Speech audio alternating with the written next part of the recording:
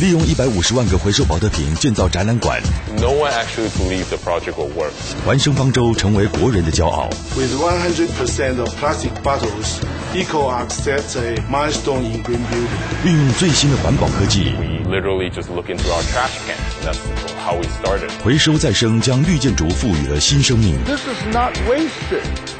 I'm hoping to recycle this old thing. 台湾环生方舟中文版四月二十二日晚上八点，国家地理频道。